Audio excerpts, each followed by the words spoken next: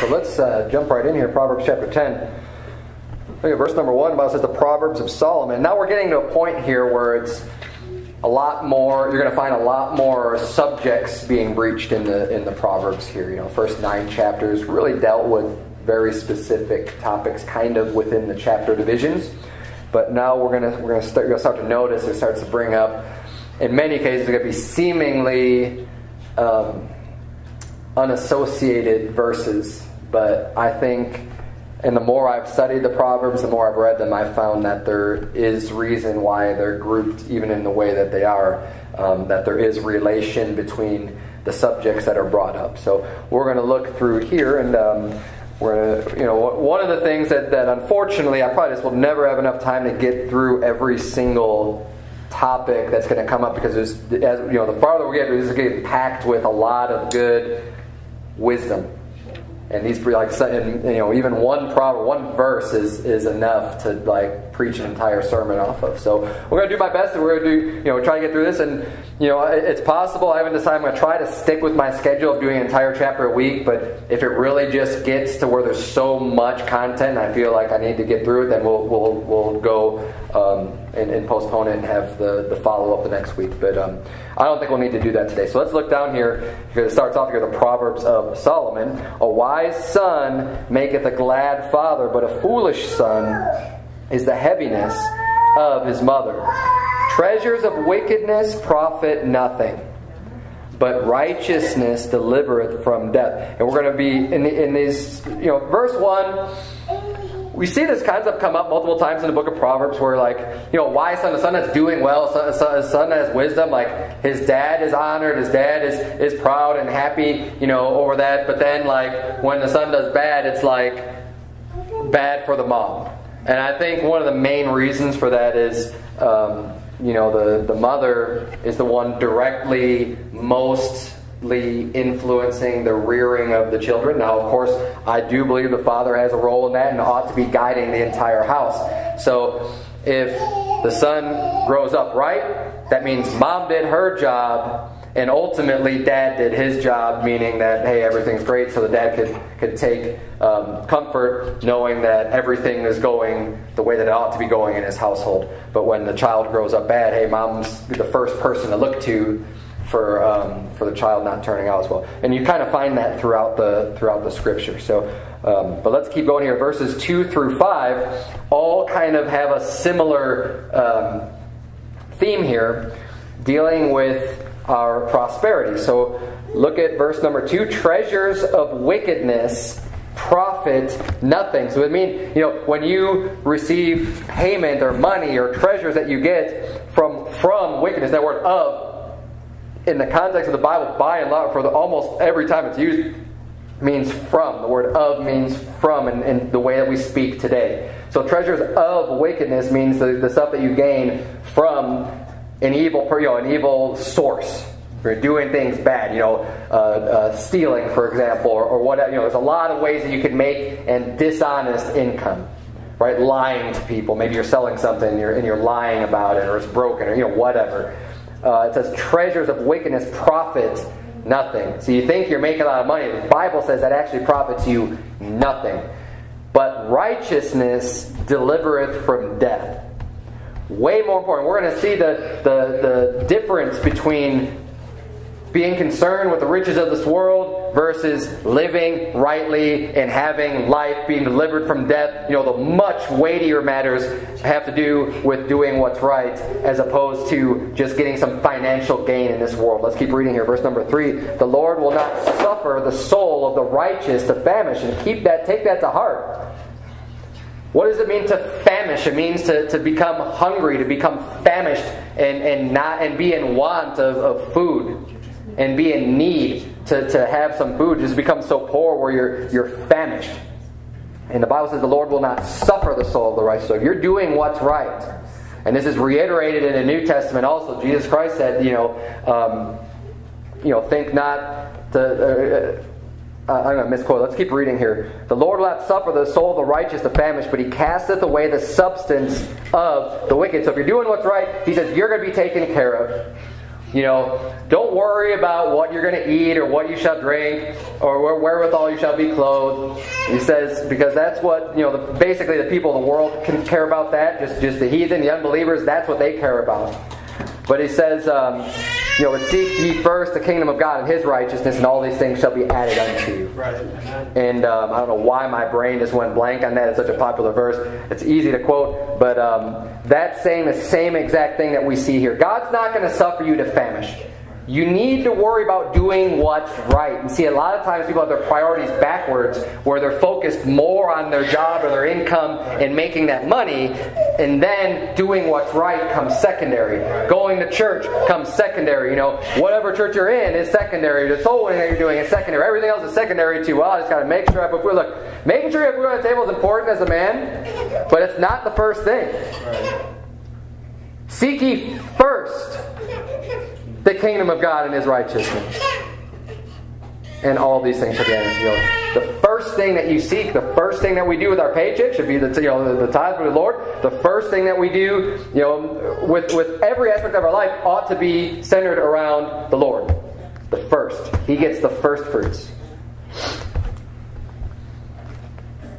And if you're doing what's right, you don't have to worry about. It. You say, "Well, I don't know what's going to happen with my job." I, you know, I, and I love it when people will make a decision to pick up and move their entire family and move across the country and move across the world or move wherever. We have, you know, Angelica visiting with us today from Kazakhstan, and she wants to move literally across the world to get into a good church. Amen. Praise the Lord for that. Right. And I know, and you know what? I know that God's going to bless her for it. I don't think that. I don't hope that. I know that. Right. I know that for sure. I know that God's going to bless her for making that type of a move because she's putting first the kingdom of God.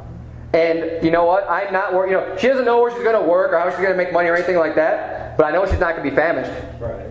I know that the Lord's going to take care of her. And anyone that makes that decision, this is this is open for everybody. You have the faith. You put God first, and you say, you know what? I'm going to make decisions in my life based on the priority of serving the Lord. You will never go hungry. Amen. You don't have to worry about that. It's a promise from the Lord. Just as much as I believe that Jesus Christ has saved my soul, in giving me the free gift of salvation, I believe that God will not suffer me to famish as long as I'm doing righteous, as long as I'm doing what's right.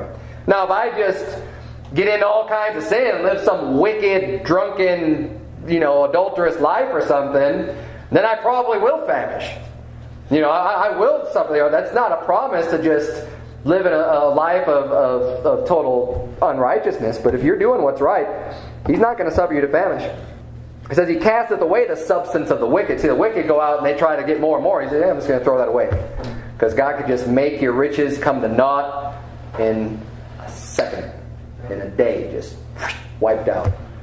I mean, think about like stock market crashes. I can't imagine like how many wicked people just had like tons of money out in the being invested and stuff, and then the markets crash, and it's like uh, millions of dollars just disappeared overnight, gone.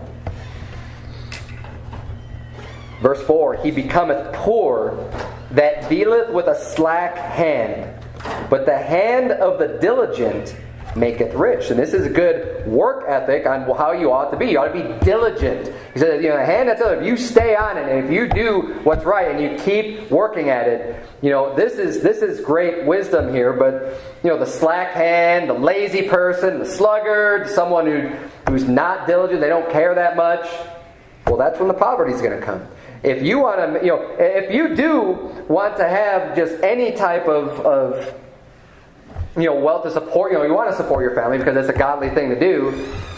First thing you ought to do is be serving God, but not only that, you ought to be diligent in your work. You ought to be working hard. You ought to be, you know, whatever it is that you're doing to try to earn money, do work hard at it. You know, don't be the lazy one. Don't be the one that that that um, everyone looks to like, oh yeah, this guy, you know, he's never do anything. Like we've got some guys that, that literally sleep on the job. Yeah, I've never I've never heard of that before. But um, anyways, I don't want to go off on that topic because it's just mind-boggling. Verse number five He that gathereth in summer is a wise son, but he that sleepeth in harvest is a son that causes shame. So, again, linked with the verse just before that being a hard worker, gathering in the summertime, getting in there ahead of time, getting out there and working hard at the harvest as opposed to just sleeping being lazy, sleeping in. You know, a farmer, I don't know like that much about a farming life because I've grown up in cities and stuff, but I know and I've read and I, you know, that that it's not easy work, and especially during the time of harvest, you're getting up at like before the crack of dawn and getting started on the day and you're working through all the daylight hours that you have until the sun goes down and it's like that all through the whole harvest and that lasts for weeks and weeks and weeks during that harvest time. And that's a lot of work. And if you want to get the, the best increase of your labor and, and, and of the crops, then you have to be doing that. Right. Otherwise, you're going to lose some. Otherwise, it's going to spoil. You're not going to get it. You're not going to get the full potential when you. Oh, I'm going to sleep in. I'm tired. Oh, I got a headache. Oh, uh, you know, uh, I'm achy, or whatever. You need to be diligent in order to receive that just just even the, the, the, the, the goods of this world. But obviously, apply that to the spiritual righteousness, also doing the things for God. Hey, stay diligent with it. It's no different than the other work that you do. You need to, to be on it and not be slack or lazy when you're dealing with how you serve God. Turn, if you would, to Psalm 37.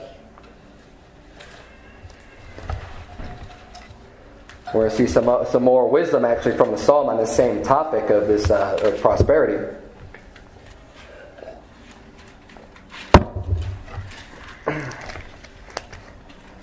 Flip back a little bit, Psalm 37.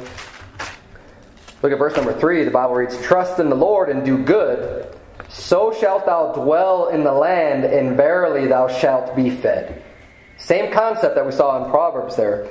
You know, trust God, do good, do what's right, and hey, you'll dwell in the land and, and you'll be fed. He'll feed you. Now, he doesn't say you're going to have a mansion and a, and a Mercedes Benz and you know all this, you know, all the world's riches, but you'll be fed. You know, you'll be clothed. He'll, he'll take care of you in that way. Verse number four Delight thyself also in the Lord, and he shall give thee the desires of thine heart. And so he goes now beyond just being fed he said, if you delight yourself in the Lord, He'll give you the desires of your heart. Now, delighting yourself in the Lord is coming from your heart to begin with. So, again, the desires of your heart at that point, when you're delighting yourself in the Lord, it's not going to be on all the riches of this world. Right? So don't don't abuse these scriptures when he says that.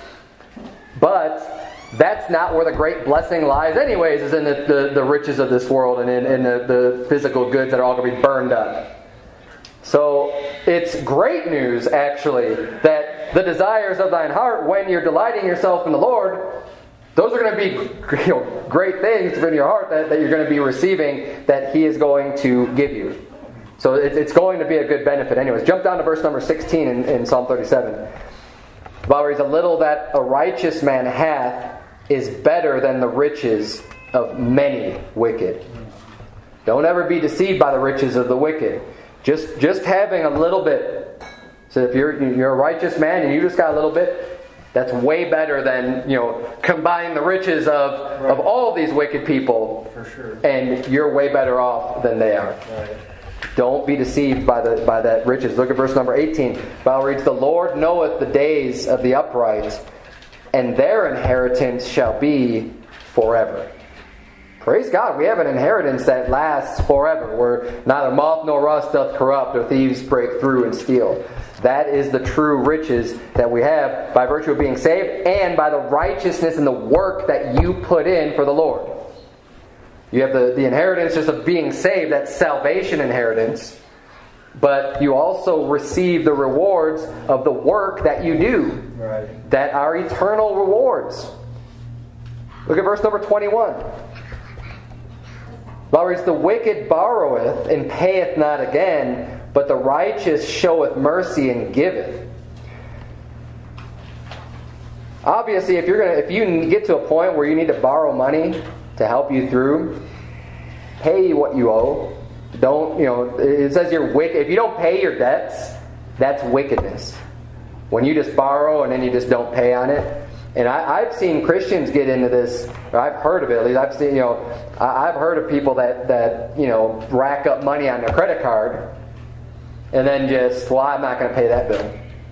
I'm just going to file bankruptcy.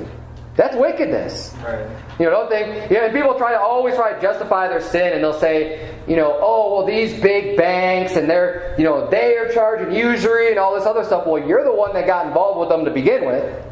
You're the one that's that's making the deal with them. You're the one saying that I'm agreeing to pay this amount and signing your name to it and giving them your word that you'll just pay them back for the money that you're borrowing from them. That's wicked when you borrow and you don't pay back. Don't uh, just because the government has offers some plan of bankruptcy doesn't mean that you ought to just go and do that. I mean, you need to work your tail off to, to do what you can. First of all, don't get in the mess to begin with. But second of all, if you are in a mess, you know, pay it down. Yeah. Pay your debts off, and I don't care if it takes you, you know, 20 years, 30 years, 40 years, whatever. Pay what you owe. Otherwise, it's wickedness says, But the righteous showeth mercy and giveth. See, instead of borrowing money, you're giving money. So the wicked one's borrowing the money and not paying it back. Just, just give me, give me, give me. I just want to accumulate all this wealth and I'm not going to pay it back to you. But the righteous one isn't borrowing all the money. He's actually saying, Here, here, here, here I'll help you out, I'll help you out, I'll help you out. That's the righteous thing to do. Why? When you have the right attitude, for one, I mean, the money's not going to mean that much to you obviously it has serves a purpose. You're going to need some, but you don't care about it. You say, okay, you know what? You need more than I do. I'll help you out. It's a good attitude to have. Verse number 22 For such as be blessed of him shall inherit the earth, and they that be cursed of him shall be cut off. The steps of a good man are ordered by the Lord, and he delighteth in his way. Though he fall, he shall not be utterly cast down, for the Lord upholdeth him with his hand. Another great encouragement of the steps of a good man, someone doing what's right. Hey, God's going to order your steps. He's going to light up the path for you and, and show you the right way to go. And yeah, you know what? You may fall down. Yeah, you may stumble, you may make mistakes, you may fall along the way, but praise God, the Lord upholdeth him with his hand. You know if you're going to be doing what's right, you don't, you know, you may fall down. You can't say that if you're doing what's right, you'll never fall down, you'll never stumble. But if you're doing what's right, you know that God's got your hand. Amen. That God's right there to pick you right back up again. And that's a, that is a, a, great comfort to have that knowledge and another good reason to do what's right. You know, people always say, you know, when you go out soul winning, telling them that, you know, doing what's right doesn't get you to heaven. And some, it boggles some people's mind to just think that, like, what, what do you mean? Then why are you out doing this? Why are you even talking to me? If this doesn't get you to heaven, then why are you doing it? And people just can't comprehend that there are so many motivations to do what's right. It's not just because you're fear of you know fear of going to hell. It's not what it is at all for us. Right. We know that we've been saved through the blood of Christ. Amen. We don't have to do good to, to, to avoid hell. Hell is not the only motivating factor to do what's right. And in fact, it's not a motivating factor to do what's right. It's a motivating factor to put your faith on Jesus Christ and get saved. That's right. The motivating factors for doing what's right are many.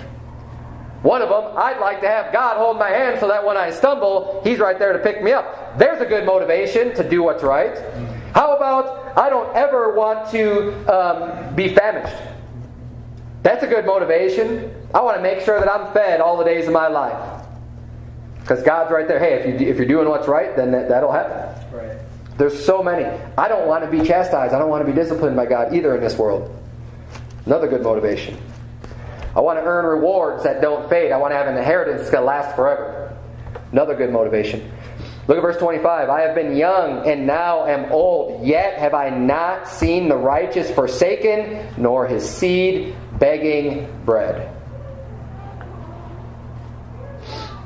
He is ever merciful and lendeth, and his seed is blessed.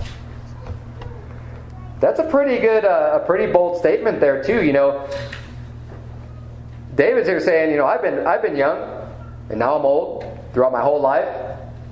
And just my, his own personal testimony, says, I've not seen the righteous person. I've never seen God forsake the righteous or his seed begging bread.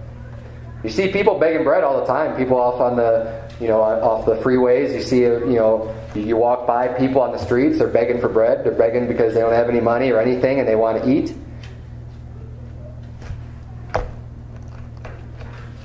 If you live right, if you're doing what's right in God's eyes, you never you will never get to that point. And that's why the people that you see that are begging like that on the on the street, they need more than just money.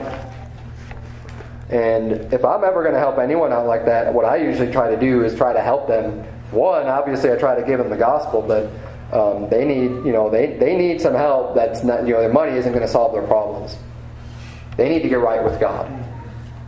Now, it doesn't mean that, you know, you know, God provides many ways of people being taken care of. It could come from alms from somebody else. It could come, you know, there's many means that your support can, your supply can come from. But ultimately, you know it doesn't matter where the means come from. If you're doing what's right God, you won't be begging bread. Which makes me think that these people that are out begging bread, they're they've got a problem with God, and that needs to be fixed. So uh, the best way to help those people, I think, it would be if you, if you do, you know, if you're going to spend some time with them, try to talk to them and you know help them figure out what their problem is and show, you know, lead them to God and be like, look, th- this is a great verse to show them. Because you don't, you don't know their life. You're not going to be able to judge and, and be able to tell them everything that they need to do. But if you at least show them that, be like, look, you're doing something wrong. You know, if you had a heart to give them homes, great. But but you know, try to you can help them out even more by showing them verse like this. Yeah, that's right. And and lead them to a good church and be like, hey, get, you know, show up here. You're welcome there. It, you don't have to. You don't have to. You know, it doesn't matter if you haven't taken a shower. You just show up there you know, and and this will help you. This will help you more than the than the two dollars I've got in my pocket or whatever. This will help you way more, and, you know I think that's the best way to deal with people like that is to try to help them in that way. But we know that we have promises from God that aren't going to be broken because it's written down in Scripture. Let's go back, if you would, to um, oh, look at verse number twenty. Sorry, I got one more verse I didn't read there from Psalm thirty-seven. Bible says, For the Lord loveth judgment, and forsaketh not his saints. They are preserved forever, but the seed of the wicked shall be cut off. God loves judgment, that says. God is a judge. God loves righteous judgment, which is the only judgment he does. Righteous judgment. But he never forsakes his saints. It's a great verse. Again, another verse for soul winning. It says, They are preserved forever. Preserved. God preserves his saints. We are, he never forsakes us. Great eternal security verse right there. If that's um, you know something to maybe add to your repertoire, something that uh, you want to show somebody that that look, salvation is forever. God loves judgment, and He is a judge, and the wicked they're going to be cut off. But if you're a saint, if you're sanctified in Jesus Christ, you'll never be forsaken and you are preserved forever. Just like his words are preserved, they are, they are guaranteed to be, to be around forever. Go back if you would to Proverbs uh, 10.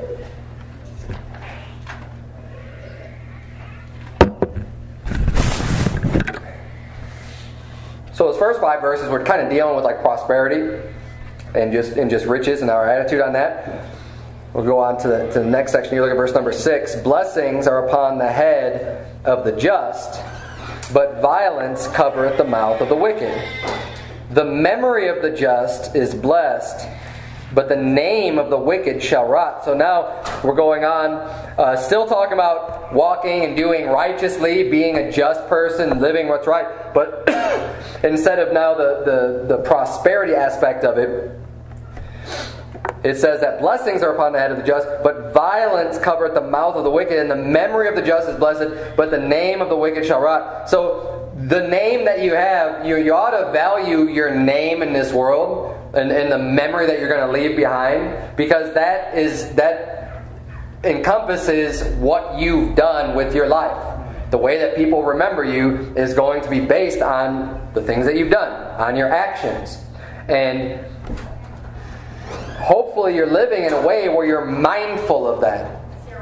A lot of people these days don't think about the big picture at all. They're just living for the day, they're living for the moment, they're living for whatever pleasure they're going to have in this short period of time. And they might set up goals, and I want, I really want to get a boat, I really want to get this house, and you work and you work and you work, and everything is focused around those things. Think about fast forward then. What you know? What is the end of your life going to look like? All this time that you're investing in those things. I mean, are people going to remember you because you had that awesome boat? Like, is that really? Do you are you really going to care that that's how people remember you? Like, I, oh yeah, he's the guy that brought us out to the lake, and man, he had that that great. You know, like, so what? How do you want to be remembered? Bible says the name of the wicked shall rot. If you're just living a life of wickedness and sin, your name's going to rot. It's going to stink, and and people aren't even going to want to remember you.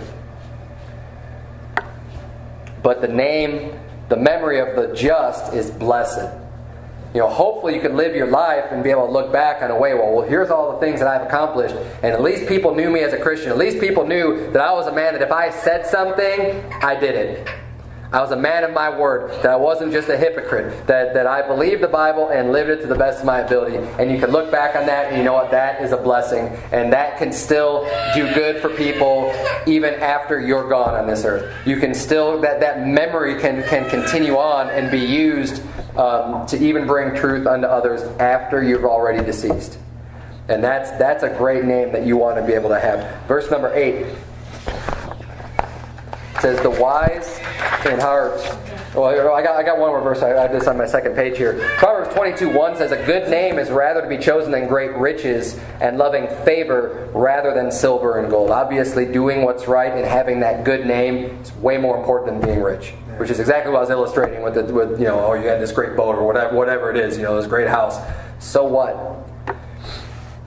A good name is much better than, than all those riches. Proverbs 10 8. The wise in heart will receive commandments, but a prating fool shall fall. He that walketh uprightly walketh surely, but he that perverteth his ways shall be known.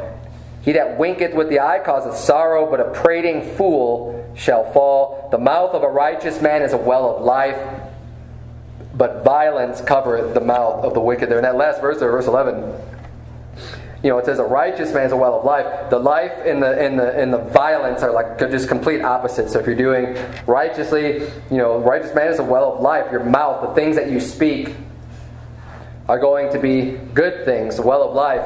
But violence covereth the mouth of the wicked. And you know, if you're doing what's right, you're going to walk surely. But um, like in verse nine, but he that perverteth his ways shall be known. Don't think if you're when you're doing wickedness that you're just getting away with things. It's all going to be coming to light and be made known. But I want to focus in here on verse number 12. The Bible reads, Hatred stirreth up strifes, but love covereth all sins. Now, I'm going to teach a little bit on this subject of just hatred and hating in general today because there's a lot of people that I think don't have a biblical view on this. Some of them are false teachers and false prophets, but others are, are saved people, I think, are just mistaken on this subject on hating. Now,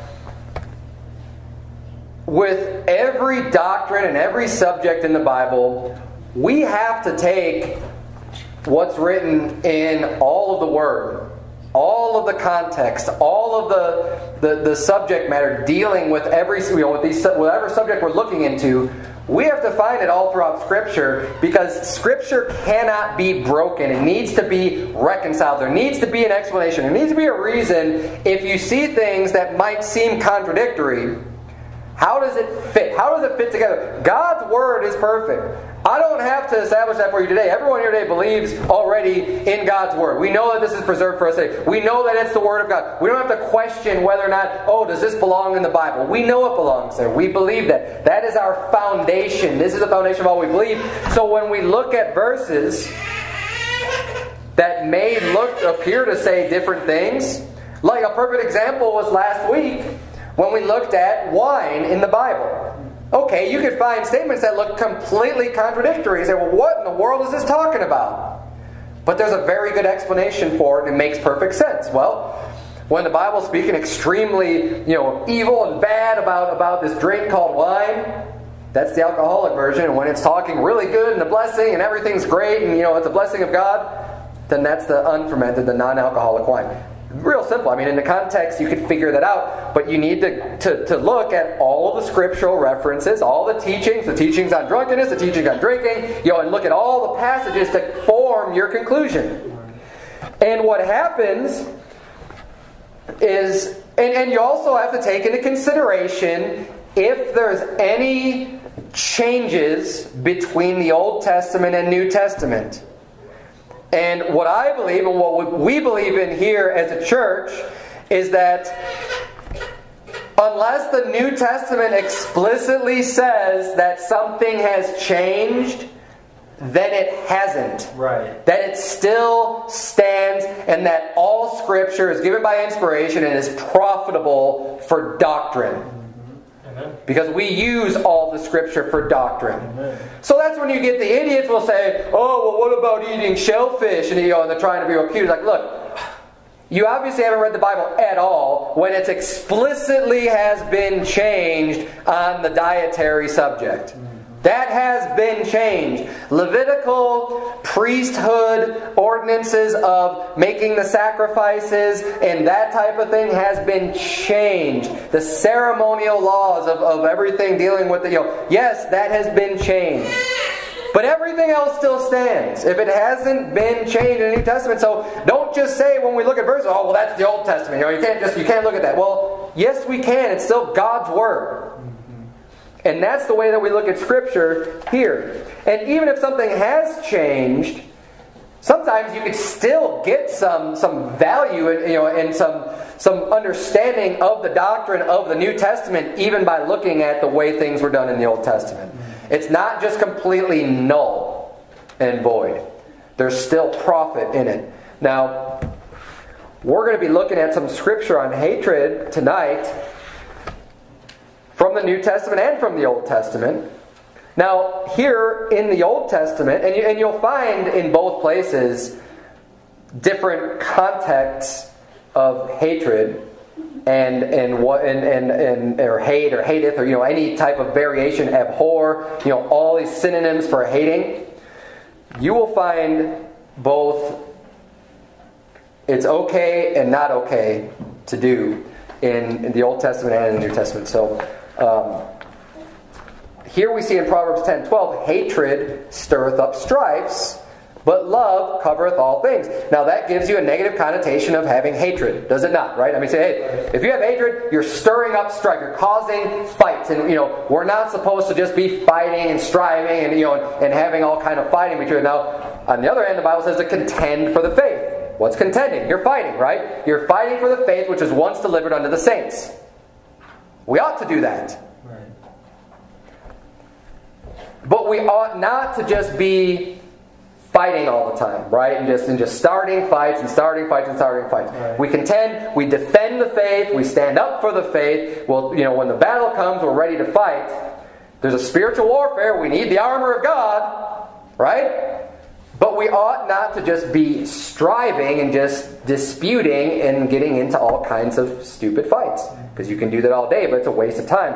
The same thing with hatred. Now, hatred, I think in general here, if you're just kind of using the word loosely of just, just hating, I mean, we shouldn't just be going around hating people, right? Obviously, that's, that's all we're going to do is just stir up strife that way. But love covereth all sins.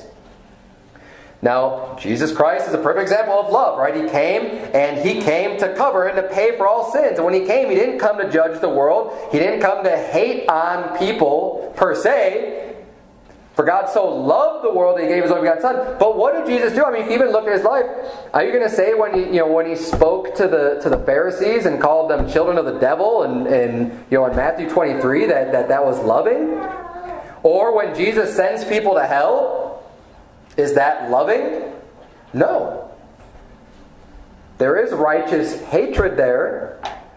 But when we're, when we're looking at how we ought to be living our lives and we're, and we're dealing with the context here, and again, in the context of Proverbs, so far, what we've seen up to this point is doing what's right versus doing what's evil. In just about every single verse, whether it's talking about you know, the different benefits or advantages of that, it's all talking about doing right versus doing wickedly. And now we see hatred stirreth up strifes, but love covereth all things. We ought to be loving in general.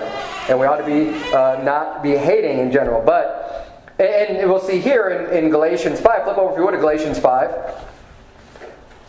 We'll see a New Testament um, reference to having hatred and a negative reference, by the way. And, and I'll mention this also as we say this, because we're not going to every mention. I mean, look it up for yourself. There is hundreds and hundreds of mentions of hate, hateth, hatred, abhor, and look them all up for yourself.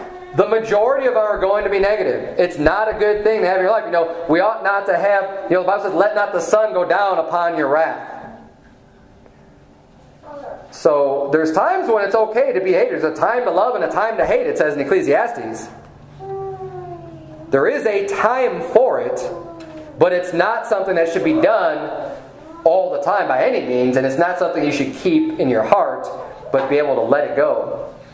Now, in Galatians 5, it says in verse 19, Now the works of the flesh are manifest, which are these adultery, fornication, uncleanness, lasciviousness, idolatry, witchcraft, hatred, variance, emulations, wrath, strife, seditions, heresies. And it goes on and on. And it says uh, at the end of verse 21 they, that they which do such things shall not inherit the kingdom of God.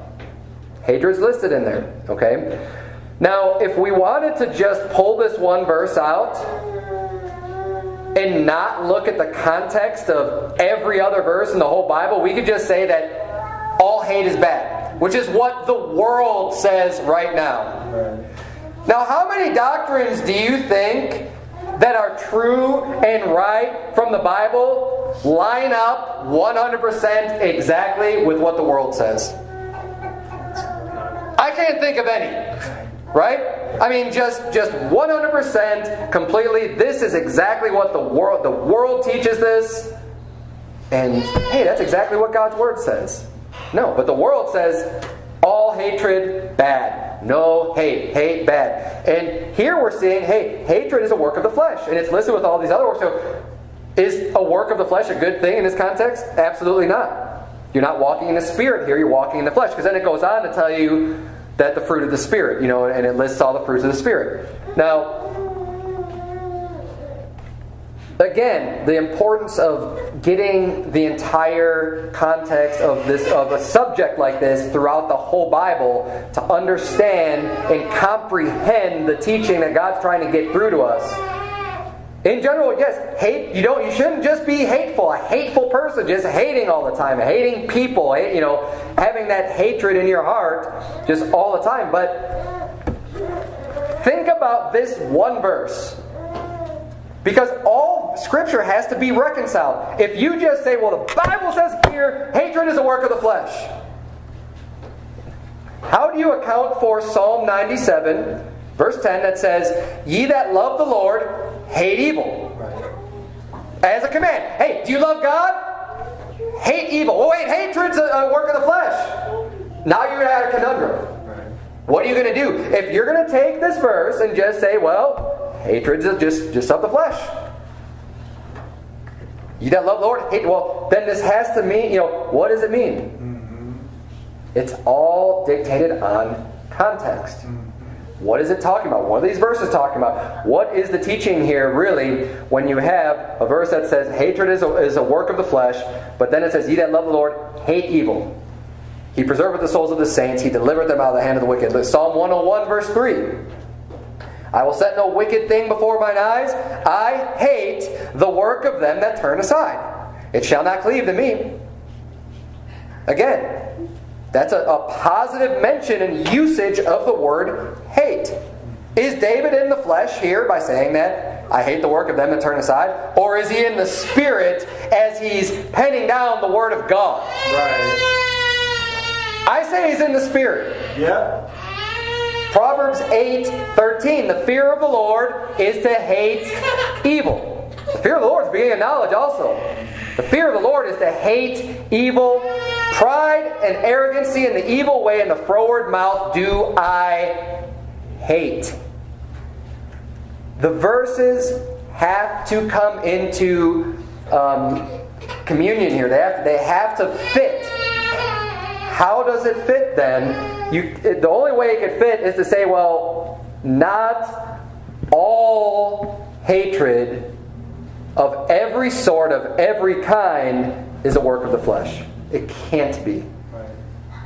It can't be. Because how can the Bible be telling you to hate evil? Hate evil. Hate the work of them that turn aside. And see, a lot of people say, well, yeah, that's just talking about hating the sin.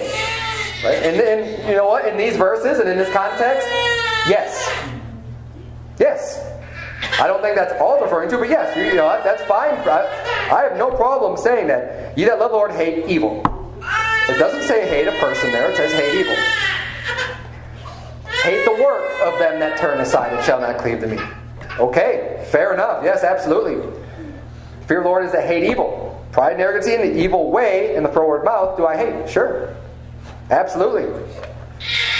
Many verses of things we're supposed to hate. And you know what? This isn't all. Don't think that like I threw just all like this is all of the verses that telling you to hate. No.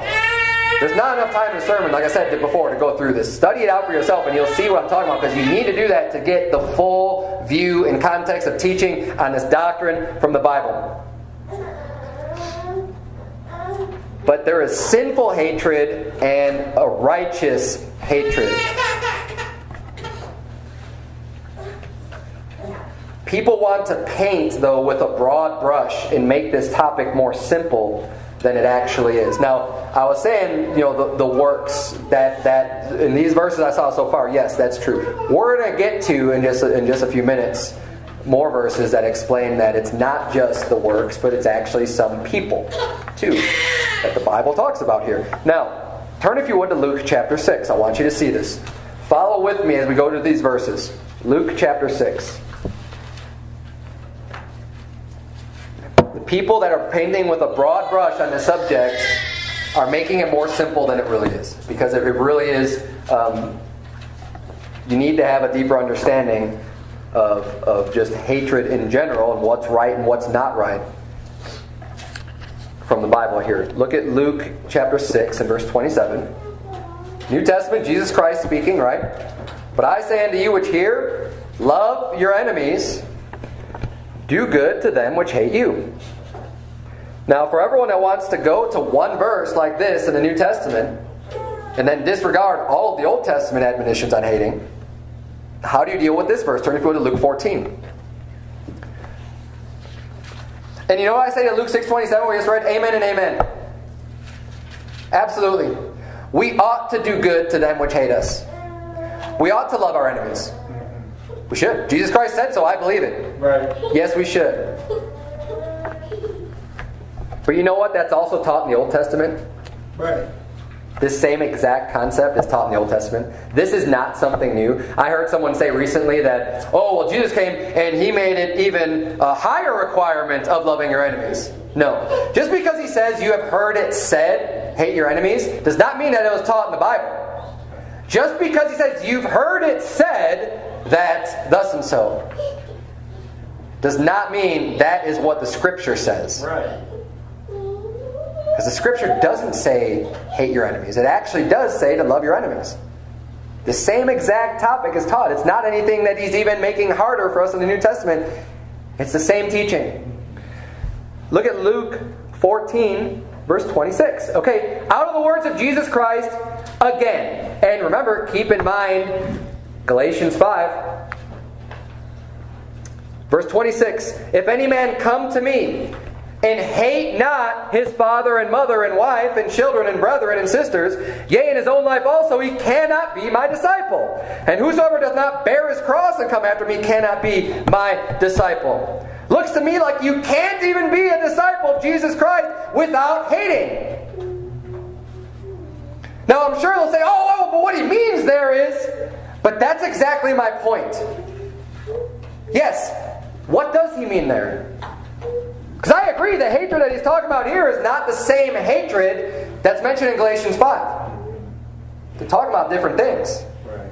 You don't have the same hatred for your mother and your father that it's talking about of being in the flesh and having the hatred found in Galatians 5. Right. So don't tell me now, oh, you're just trying, you know, you're just trying to make it sound like you could just hate every no. No, no, no.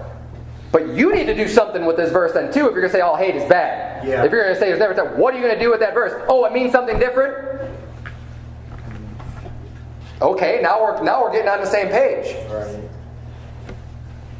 Because I say it's dictated by the context on what it's even talking about.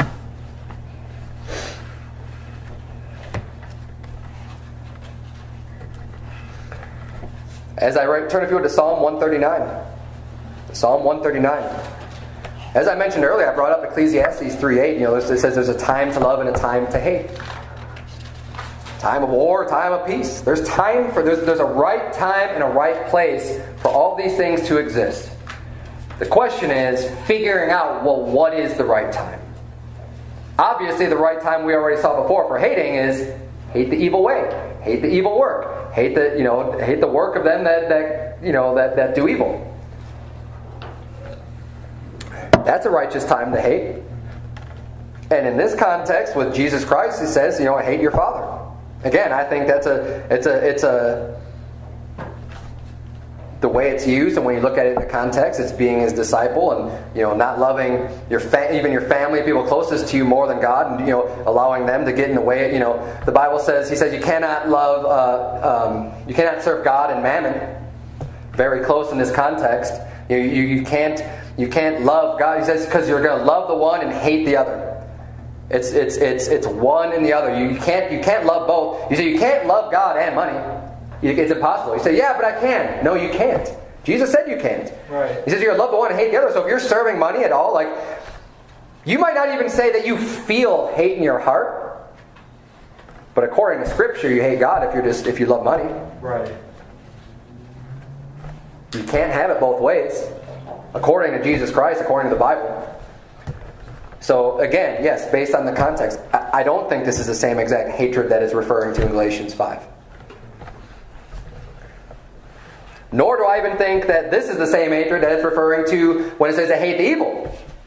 Right. I don't think it's the same hatred that you have in order to be Jesus' disciple. But you see, you have to be able to answer all these scriptures. You have to be able to turn to them. And I think conveniently, when people are doing their studies on hatred and stuff, they leave out all these hard verses. Because they just want to make it sound so crystal clear from the few that they cherry pick. You got to answer them. Psalm 139, verse 21. Do not I hate them, O Lord, that hate thee? And am not I grieved with those that rise up against thee? I hate them with perfect hatred. I count them mine enemies. Now it's talking about people. We saw hating the evil way and hating wickedness and that type of stuff. Now we're saying, look, them, those, O Lord, that hate thee. He says, I hate them. And not only that, he calls it a perfect hatred. It's a perfect hatred, it's complete. It doesn't mean without error. It's just, it's, it's, he said, I hate them with a perfect hatred. I fully hate them. I count them mine enemies. And these are people that hate God. Romans 1 talks about also people that hate God. And people are given over to a reprobate mind. Again, and this is not your average unsaved person. Your average unsaved person is not labeled, according to the Bible, a hater of God. That is not your average unsaved person. Even the Apostle Paul, who fought against the church of God and fought against the right ways, the Bible says that he did it ignorantly in unbelief. He was not a hater of God. He was not a reprobate described in Romans chapter 1. It was not the Apostle Paul. He was an unbeliever. He did things ignorantly, thinking he was doing what's right, you know, trying to serve God. He didn't know God, he was trying to serve God, and he did it completely ignorantly and foolishly and actually fought against the cause of Christ. But he was not a hater of God. And what we see here in Psalm 139 is consistent with what's in Romans chapter 1, being a hater of God. You know what? That is someone that I hate.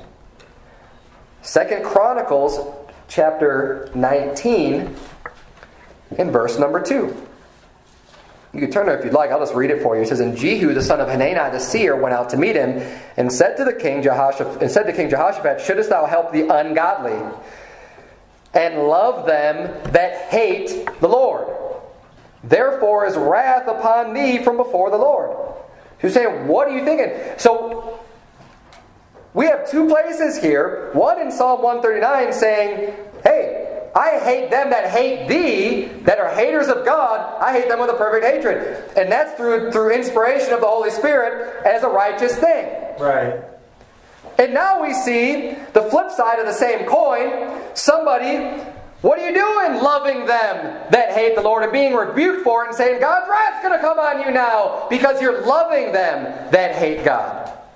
The same people, those that hate God. Again, look, hey, look up the times where the Bible talks about people who hate the Lord and hate God. And see who it's talking about. Okay, do that. It's a whole other study to do. Figure this stuff out. It's important. Look, if you care about the Bible and if you care about having the right doctrine, study it out for yourself and look it up. And see, you know what? This doesn't sit right. Because you know what? Honestly, the first time I heard about any of this, it, it sounded kind of strange. It didn't sit right with me. Why? Because I'd never heard it before. Right. Because all I ever heard was what this world had to say about hate bad, love good, and everything is just love, love, love. But you got to answer these. I'm waiting for an answer. I'm saying, well, that's Old Testament. You know what? That doesn't work for me. That's Old Testament.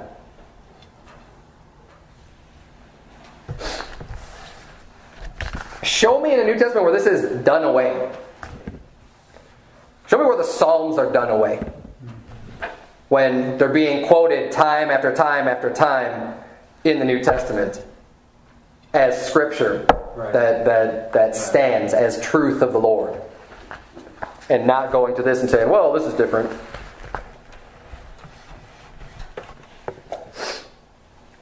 Turn back, if you would, to Proverbs chapter 10.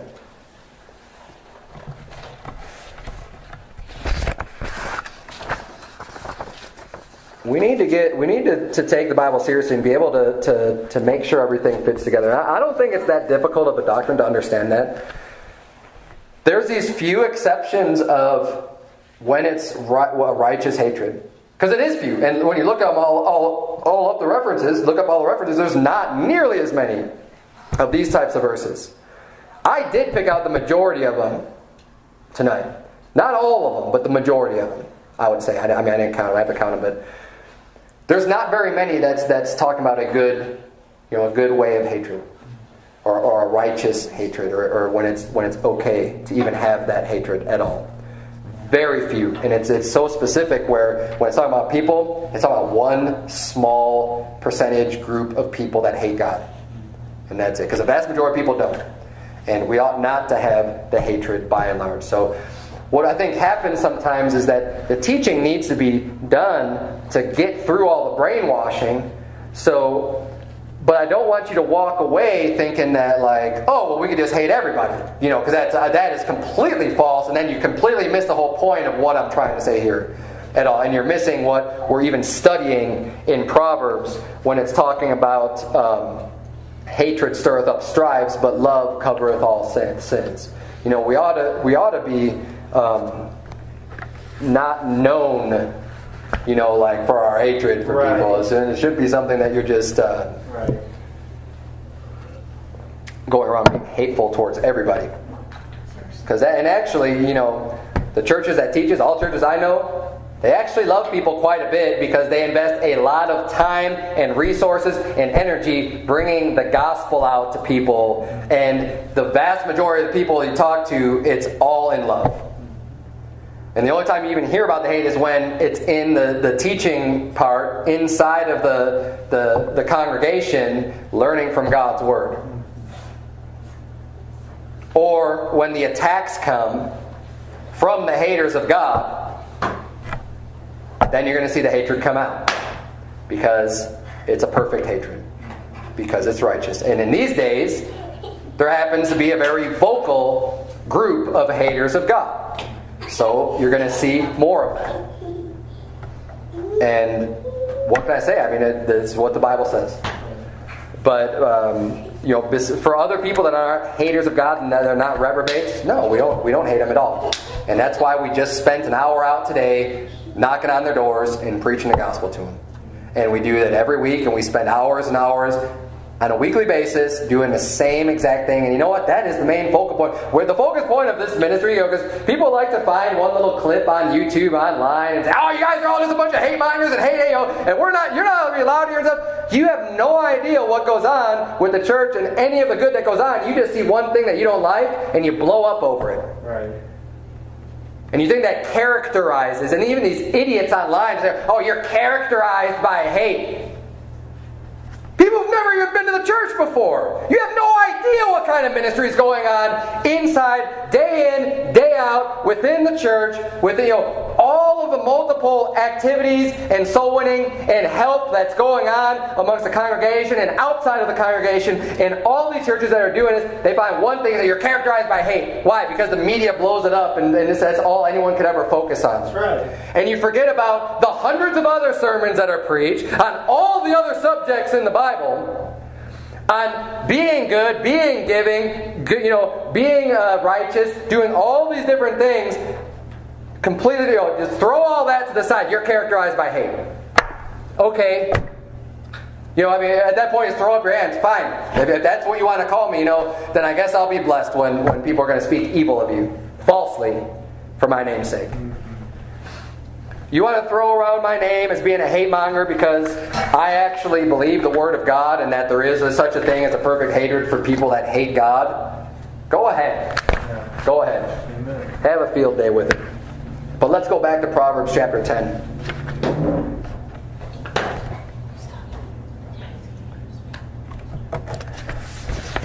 All right, where did we leave off? Because I think I skipped a little bit in my notes. Uh, verse 12, yeah, verse 13. In the lips of him that hath understanding, wisdom is found, but a rod is for the back of him that is void of understanding. Wise men lay up knowledge, but the mouth of the foolish is near destruction. The rich man's wealth is his strong city. The destruction of the poor is their poverty. I'm going to keep. I'm going to move on a little bit here for time. Proverbs uh, verse 16: The labor of the righteous tendeth to life, the fruit of the wicked to sin. He is in the way of life that keepeth instruction, but he that refu- refuseth reproof earth. Verse 18 He that hideth hatred with lying lips, and he that uttereth a slander is a fool. So here we have another reference of hatred. And so uh, when you when you hide your own hate by lying about it, right? You actually hate someone, but you're going to lie about it. And you know a lot of people that do this. It says, and he that was saying is a fool. It says you're a fool if you hide that hatred with lying lips. Like the people that actually hate the homos but tell them that they love them. Yeah. You're a fool. Don't do that. Don't lie about it. And unfortunately, got a lot of people lying about that type of thing. They, why? Because they don't want the attacks to come. They don't want the, the media. They don't want to look bad in the world's eyes. Right. Because they care about what men think more than what about God thinks. And he that uttereth a slander Again, this is this this is just beyond belief in the online world. It's people slandering other people. Again, people who have no idea, never been out to a church before, never seen the full proof of the ministry because they see some clips online, they see a few sermons or clips, portions of sermons, and they're ready to just slander people left and right. It's wickedness. It's foolishness.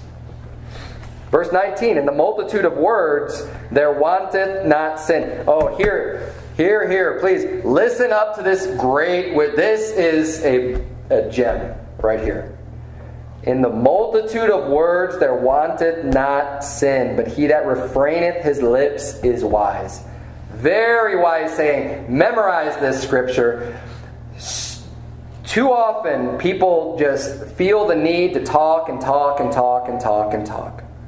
I don't know where need comes from, but you ought to be able to regulate and monitor the things that you say. And you know what? The more loose you are with the lips, the more likely you are to be sinning and talking about things that you shouldn't be talking about, talking about other people's business, maybe uttering a slander, maybe, you know, whatever. The more words that come out of your mouth, the more likelihood it is that you are going to be in sin. We need to be able to Take a break for a second and think about what he says. But he that refraineth his lips is wise. Now, Sometimes you hear about things and oh man, it might be real juicy. You know, you might just want, you just can't wait to talk about it. If you could refrain your lips, you're wise. You don't need to be spreading gossip. You don't need to be backbiting. You don't need to be talking about other people.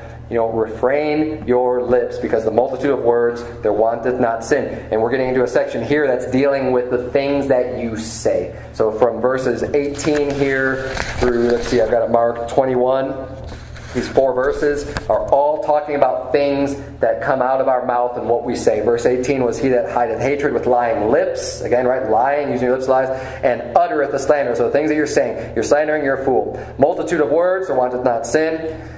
And but he that refraineth his lips is wise. Verse 20, the tongue of the just is as choice silver the heart of the wicked is little worth. So the things that you say when you're you know, being a just person and speaking righteously, that's great. That's like that. I mean, that's that's like value, valuable as silver is valuable.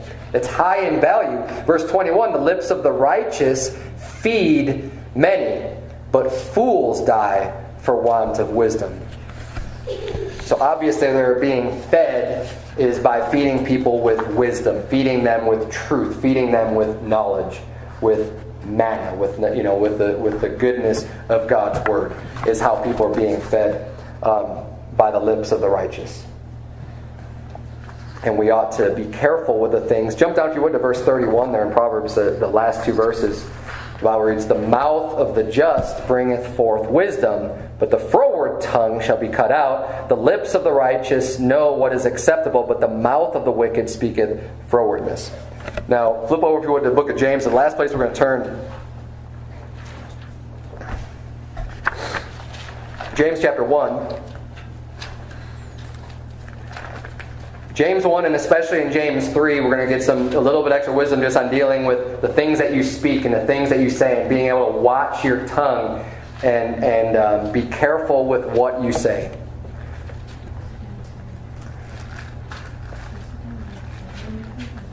We need to recognize the damage that can be done with the words that you use. And you ought to be very careful to choose your words wisely right. and to not be. I mean, for one, people are always going to be looking to trap you in your words and snare you in your words. And the wicked people that are out there, and people who claim to be Christians, they've already done this. You know, it's like they're waiting for someone to slip up. They're waiting for you to just to say the wrong thing so they can capture it and just throw it out there. You know what? That's wicked. And you know, you really ought not to be doing that for anyone. Just you know, taking someone out of context or just just just waiting for that one thing, especially when you know. I mean, anyone who does who who speaks often like a preacher, everybody makes mistakes. I have made mistakes. I have misspoken in the past, and you know what's a wicked thing to just jump on one area where you misspeak. Maybe you don't explain yourself just just fully or, or fully perfect, and you and you make that one error. Don't jump on that don't jump on that one thing and blow it up to be way more than it is. That's not right. And that shouldn't be done. I mean, you can. I'm sure it could be done to me. I don't know if it has been or not, but I mean, it, it easily could because when you talk for an hour, something isn't going to come out just right because I'm not perfect, even though that's not my intent. Or you know, sometimes you say things you don't even necessarily mean, but we ought to be careful. You know, I'm not just I'm not just excusing myself. You know, it ought to be something that that everybody is diligent about and try your best to make sure that whatever comes out of your mouth you know, you can't be trapped. They were trying to trap Jesus in his words all the time. They're trying, trying to catch him. You know, that's why they brought the, the woman in adultery. That's why they're asking him all these questions about what's the greatest law and the greatest, you know, and they're trying to trap him at any point to try to get him to, to be in a quandary, to say something either against Caesar or against God's law, and just trying to trap him and trick him. So we need to be careful with the words that we use because there's always going to be attacks and people that are listening to you.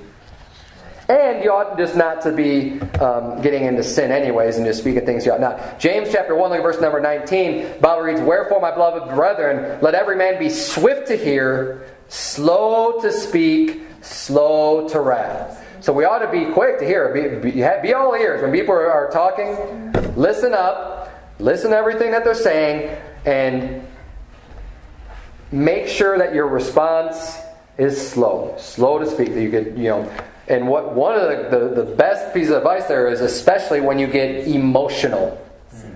When people, because words can really raise emotions. you get people pretty hot. You get pretty angry. You get, you, know, you get pretty sad. You can, you, you know, all kinds of emotion can be stirred up just by some words.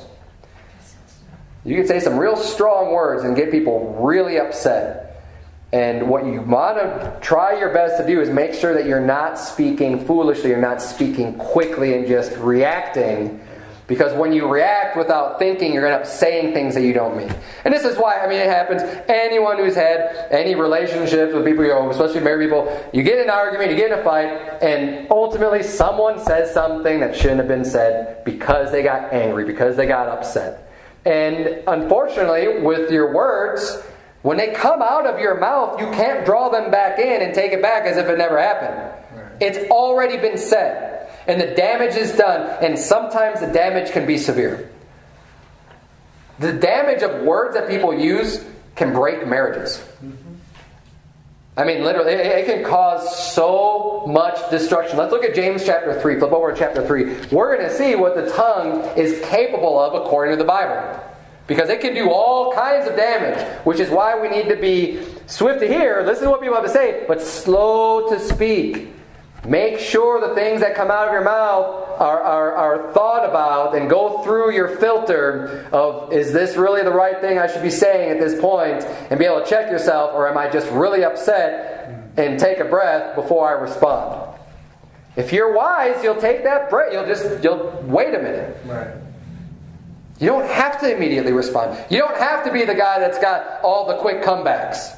I've never been that guy. and you know what? Now, I used to think, like, man, I wish I was just really good at just having these quick comebacks. I don't, think that way anymore. Because you know, it doesn't matter. I'd rather think about the things that I say and say it right than screw up and say something wrong just to be witty or just to be clever. You know, I, I, that doesn't matter. Because that's kind of just a little proud, anyways, if you could just, you know, have that, right. that, that, that winning of, of, words in that way. I'd rather just say what's right and say what's true. Look at James chapter 3, verse number 5. The Bible says, Even so the tongue is a little member, and boasteth great things. Behold, how great a matter a little fire kindleth. And the tongue is a fire, a world of iniquity. So is the tongue among our members that it defileth the whole body, and setteth on fire the course of nature, and it is set on fire of hell. Is that, is that a strong enough warning for you on, on how you ought to deal with your tongue and the things that you say? I mean, the fire that's kindled is of hell. See, it's just a small, it's just a small part of your body. Yeah, your tongue is real small. But look how great a matter a little fire kindleth. Right. You know, all these fires, we have a lot of fires out here in Arizona too, in the, in the wooded areas and stuff. All these great, huge forest fires, they all start from something small. That's right. Lightning bolt, campfire, cigarette. Little bit, just a, just a little bit thrown out there. One little cigarette thrown out the window. huge blaze before you know it. Turns into this, this huge disaster. Misspeaking the wrong words could just be a little, just a few words, can blow up into, into way more than you want to deal with. The Bible says in verse 7 For every kind of beast and of birds and of serpents and of things in the sea is tamed and hath been tamed of mankind. You know, we're, able, we're capable of taming animals. Even the most wild of beasts can be brought into subjection and be tamed and not be wild anymore. You see the, you know, the wild horses that are running free, and you try to you try to, to break a horse, right? They're, they're kicking and stomping and everything else, they're all over the place. They cause all kinds of destruction, but they can be tamed. They can be taught. You know what? You're going to have, you know, they're, they're going to obey. They can be brought into subjection.